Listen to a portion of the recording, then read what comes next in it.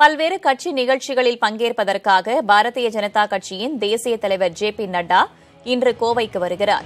கூடுதல் தகவல்களை வழங்குவதற்காக செய்தியாளர் பிரவீன்குமார் இணைந்திருக்கிறார். அவரிடம் கேட்கலாம். பிரவீன்குமார் பாஜக தலைவர் ஜே பி நட்டாவின் பயண திட்டம் என்ன?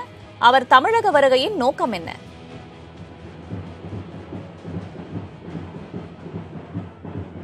வேதவள்ளி பாஜகவின் தேசிய தலைவர் ஜே பி நட்டா பல்வேறு அரசியல் சார்ந்த நிகழ்ச்சிகளில் கலந்து கொள்வதற்காகவும் கட்சி நிர்வாகிகளை சந்தித்து நாடாளுமன்ற தேர்தல் தொடர்பான பல்வேறு விஷயங்கள் குறித்து விவாதிப்பதற்கும் கோவை வருகை தருகிறார் இன்னும் சற்று நேரத்தில் கோவை விமான நிலையத்திலிருந்து நாம் தற்போது நின்று கொண்டிருக்கும் உக்கடம் பகுதியில் கோவை ஈஸ்வரன் கோயிலுக்கு அவர் வருகை தரவுள்ளார் அவருடன் பாஜக மாநில தலைவர் அண்ணாமலை பாஜக தேசிய மகளிர் அணி தலைவி வானதி சீனிவாசன் உள்ளிட்டோரும் வர உள்ளனர். தற்போது அவரது வருகையை ஒட்டி கோவை கோட்டை ஈஸ்வரன் கோயில் முன்பாக அக்கட்சியினர் பலத்த வரவேற்பு ஏற்பாடுகளை செய்துள்ளனர் மேளதாளங்கள் முழங்கவும் ஆரத்தி எடுத்தும் பல்வேறு சுபகாரியங்களுக்கு அனைத்து காரியங்களும் மீறி தற்போது அவர்கள் வரவேற்பு இவங்க மக்களுக்கு எப்பவும் தேவைப்படுற லாண்ட்ரி பிசினஸ் செஞ்சு மாதம் மூணு லட்சம் ரூபாய் லாபம் எடுக்கிறாங்க.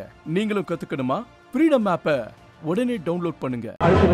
தற்போது எல் இணையமைச்சர் எல் முருகன் அண்ணாமலை ஆகியோர் தற்போது வந்துள்ளனர். நேரடி காட்சிகளை ஒளிப்பதற்கு முத்துப்பாண்டி காட்டிக் கொண்டிருக்கிறார் வானதி சீனிவாசன் அவர் உள்ளிட்டோரும் வந்துள்ளனர் இந்நேரத்திற்கு அவர்கள் இந்த கோட்டை ஈஸ்வரன் கோயிலில் இன்னும் சற்று நேரத்தில் ஒரு இருபது நிமிடங்கள் தரிசனம் செய்ய உள்ளனர்.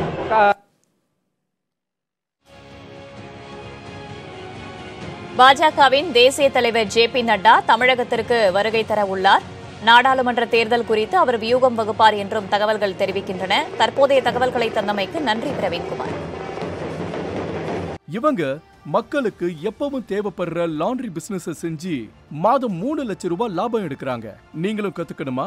ஃப்ரீடம் ஆப்பை உடனே டவுன்லோட் பண்ணுங்க.